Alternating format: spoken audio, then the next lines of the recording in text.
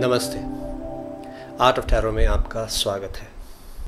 इस ओशो जेन टैरो की सीरीज़ के एपिसोड में आज हम बात करेंगे गोइंग विद द फ्लो और आज हम शुरुआत कर रहे हैं माइनर अरकाना की।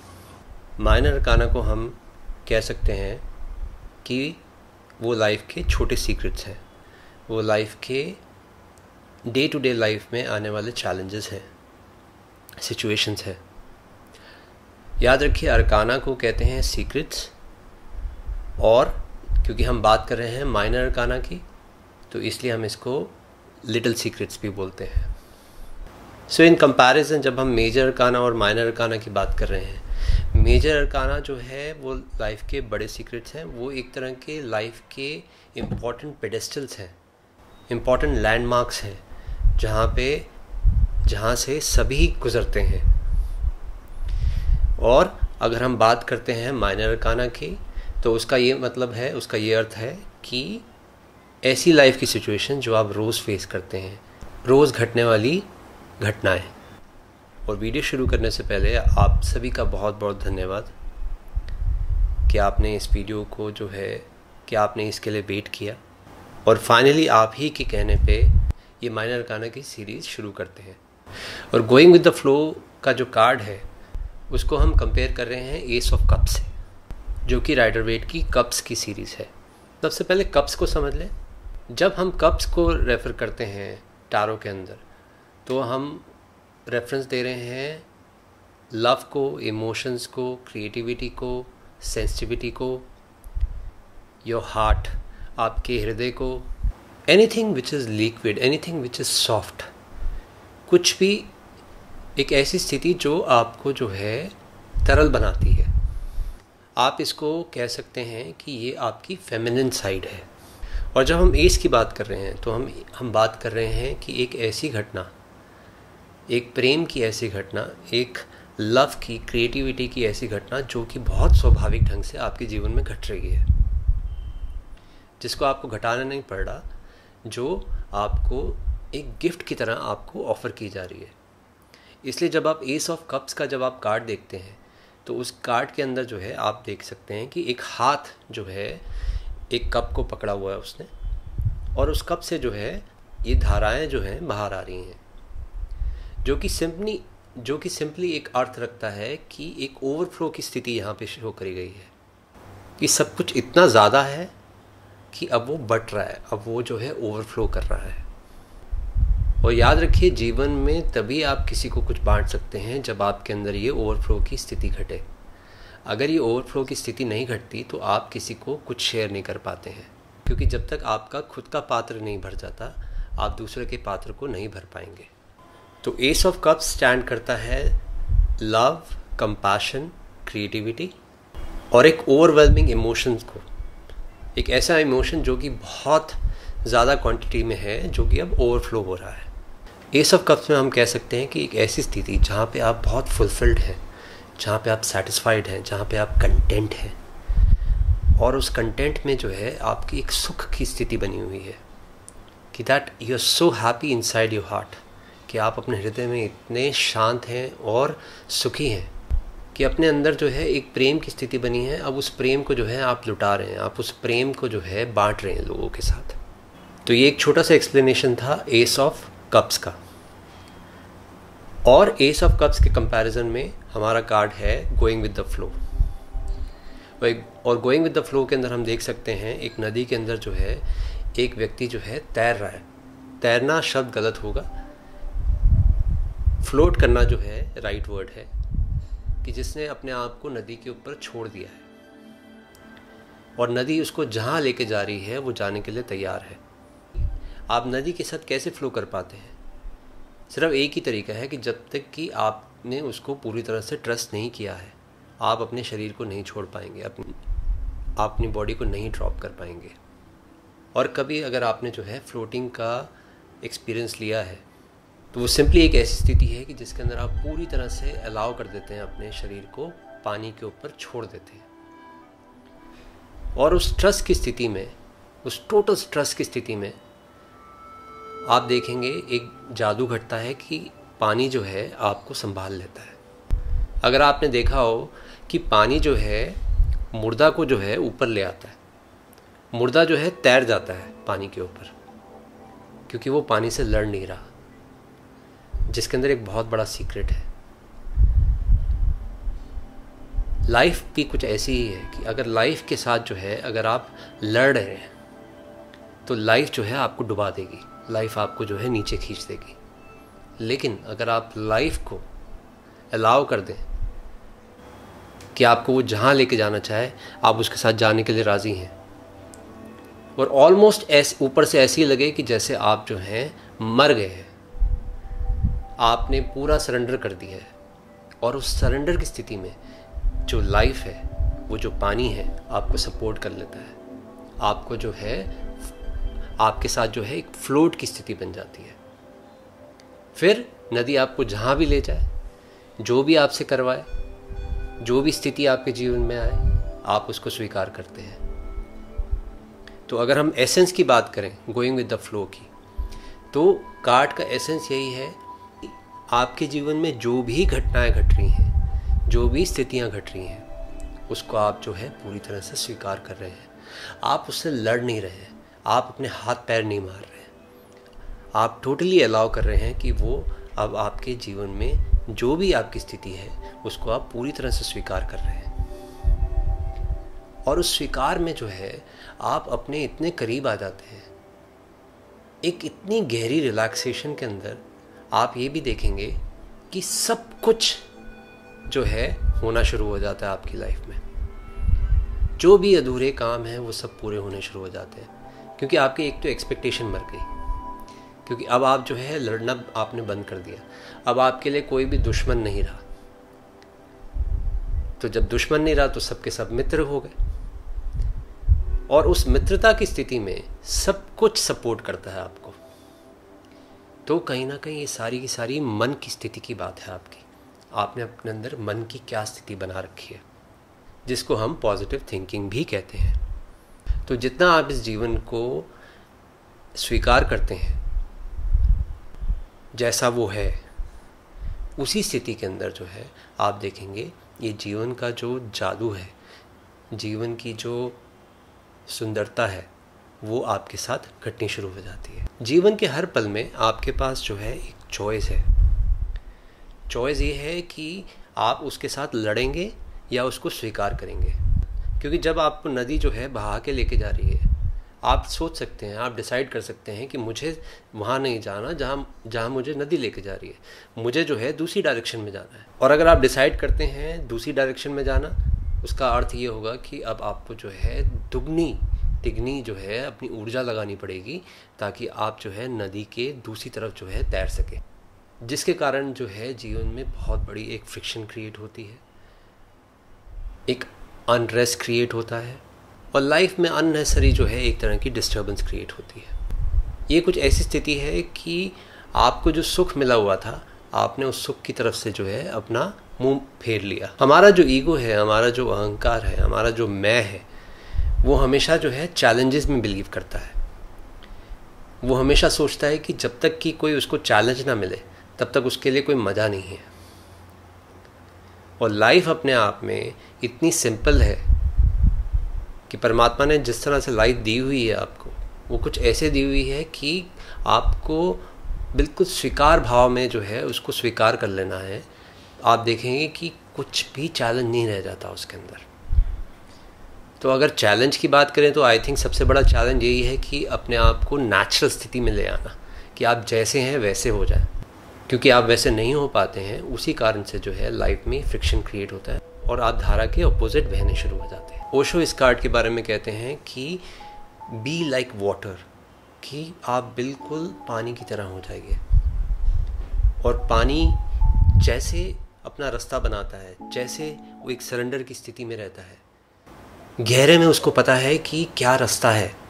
गहरे में उसको पता है कि सागर का रास्ता क्या है। और वो चुपचाप जो है, वहाँ उसी डायरेक्शन में जाना शुरू हो जाता है। तो जब हम वाटर की बात कर रहे हैं, हम बात कर रहे हैं फ्लो की, कि आपके जीवन में एक फ़्लो होना चाहिए। एक आपके जीवन में जो है, वो भाव होना चाहिए। उस भाव के कारण जो है, जीवन जो है जीवित है। जीवन जो है, उसमें जो है एक, जीवन में ऊर्जा है। कि जीवन जो है ज़िंदा है। क्योंकि अगर वो भाव नहीं है तो आप जो है एक एक मृत व्यक्ति की तरह जो है जीवन जीते हैं।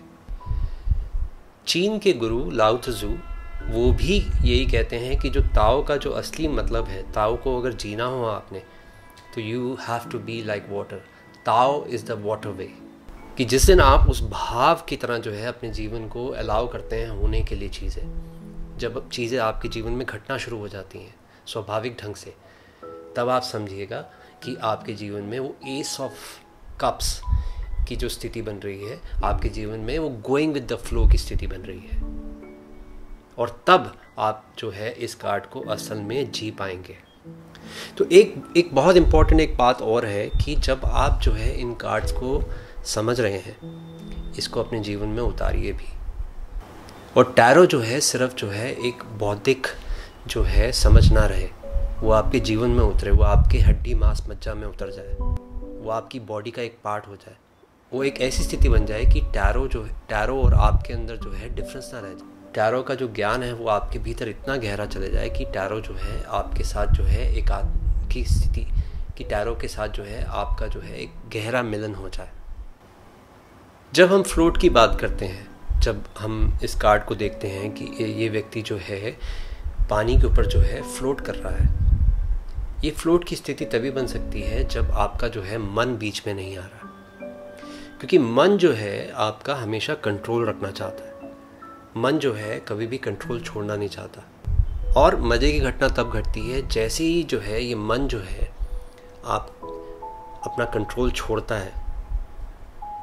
उसी क्षण जो है आप देखेंगे कि आप के अंदर वो एक फ्लोटिंग की स्थिति घट जाती है।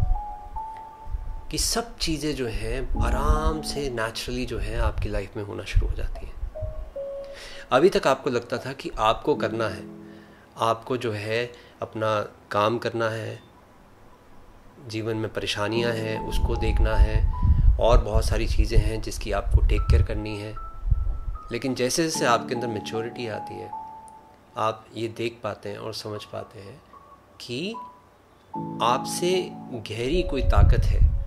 जो आपको जो है गाइड कर रही है, जो आपको संभाल रही है, जो आपको रास्ता दिखा रही है, उसी को हम रेफ़र कर रहे हैं इस कार्ड के through going with the flow क्योंकि जीवन जो है भाव का नाम है, और जिस दिन आपके जीवन में वो भाव नहीं रहता, उस दिन जो है आपके जीवन में मृत्यु घटनी शुरू हो जाती है। वो व्यक्ति उतना ही ज़्यादा जीवित है, जो जिसकी जीवन में जितना ज़्यादा भाव है। वो एक जीवन की एक बहुत बड़ी निशानी है। एक बहुत बड़ा क्राइटेरिया है कि आपका जीवन जो है जीवित है। तो अगर हम बात करें बुद्ध पुरुष की, अगर हम बात करें बुद्धों की, अगर हम बात करें एक एनलाइटन व्यक्ति की, उसने अपने जीवन को इतने भाव के अंदर डाल दिया कि वो अब खुद एक सागर बन गया है। कि अब उसके जीवन में कुछ भी मरा हुआ नहीं रहा, उसके बॉडी के सारे सेल्स जो हैं जीवित हो चुके हैं। वो पूरी तरह से अलाइव हो चुका है, पूरी तरह से जीवित हो चुका है। और स्पिरिचुअलिटी का प्रोसेस ही यही है कि जो आपके भीतर जो हैं, जितने भी डेड सेल्स हैं, जो भी आपके अंदर जो मरा हुआ है, वो जीवित हो जाए। और जितना ज़्यादा आपके अंदर जीवन रहेगा, उतना ज़्यादा जो है आप खुद महसूस कर पाएँगे कि आप कितने करीब हैं जीवन के, कितने करीब हैं परमात्मा के।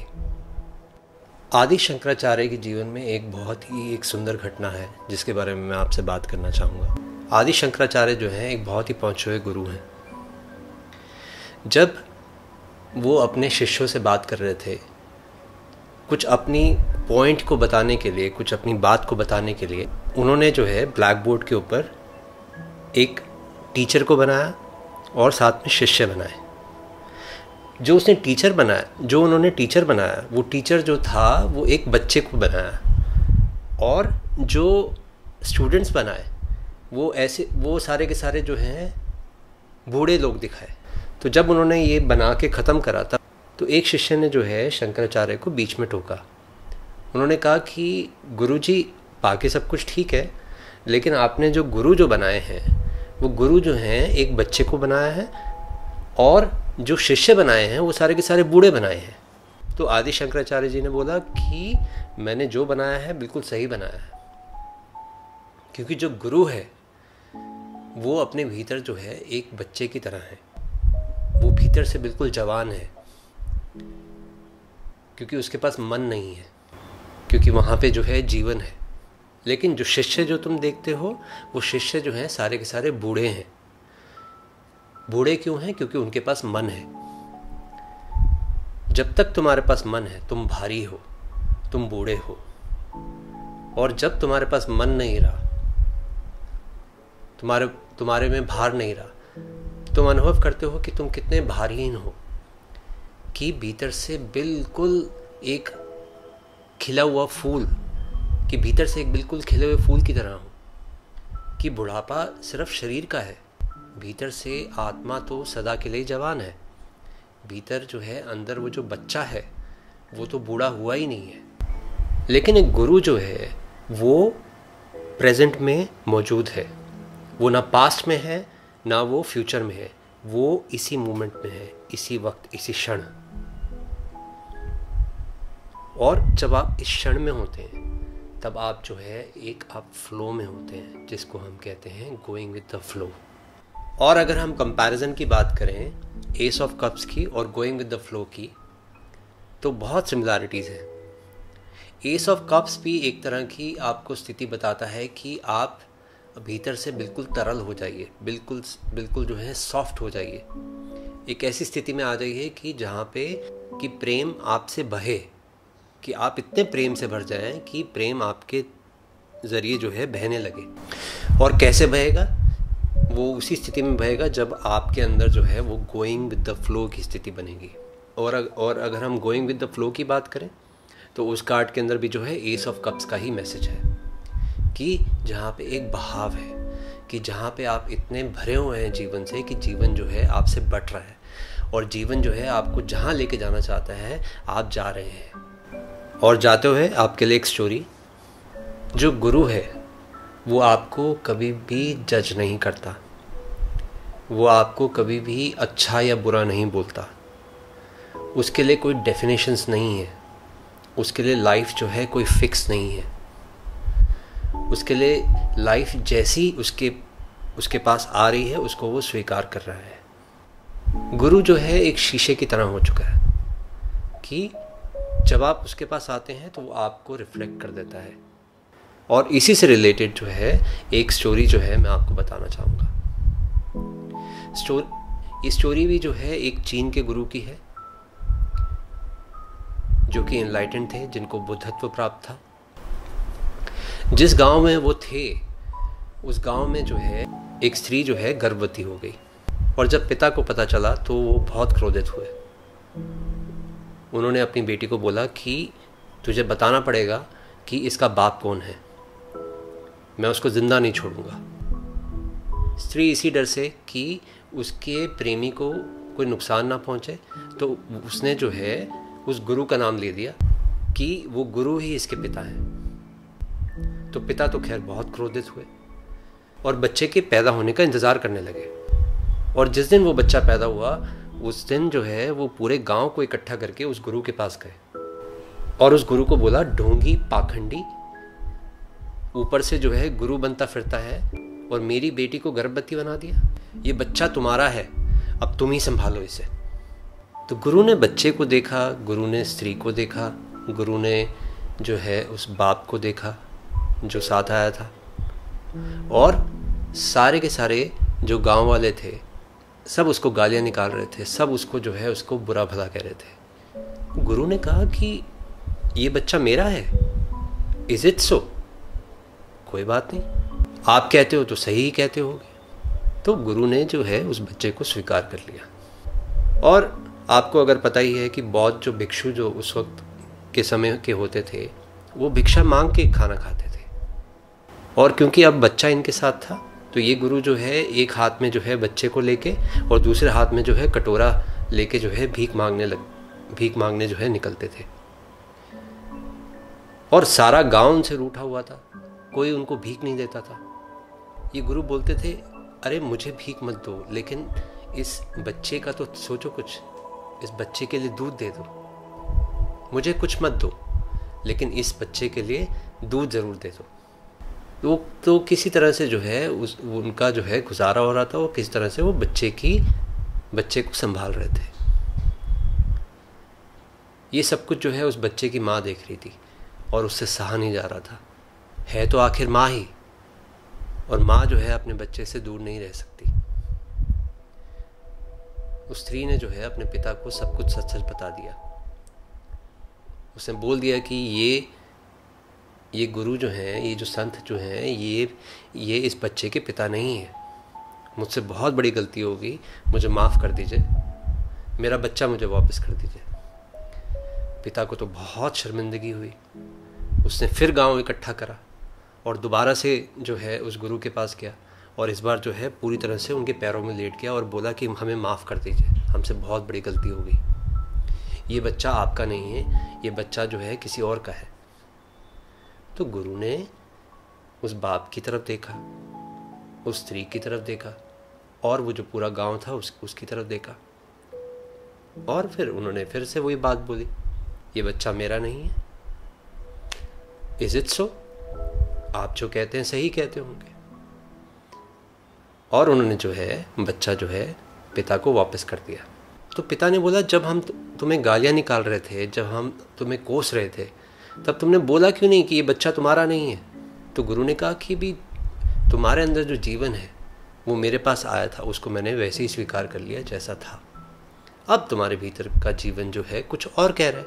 मैंने उसको मैंने उसको स्वीकार कर लिया। मेरा जो परमात्मा के साथ जो संबंध है, वो इतना गहरा है कि जो भी मेरी ज़िंदगी में, जो भी मेरे जीवन में वो भेज रहा है, वो सुंदर है, उसके लिए पूर्ण स्वीकार है। तो ये है एक संत का जीवन। और ये है एक परफेक्ट स्टोरी जिसको हम गोइंग विद द फ्लो के साथ जोड़ सकते हैं कि जिसके अंदर आप जीवन को उसी तरह से स्वीकार करते हैं, जिस तरह से जीवन आपके पास आना चाहता है। तो ये था explanation going with the flow card का उशो जेंटारो के। आशा करता हूँ आपको ये वीडियो पसंद आया होगा, और मैं आपको अपने नए वीडियो में मिलूँगा। Thank you so much for watching नमस्ते।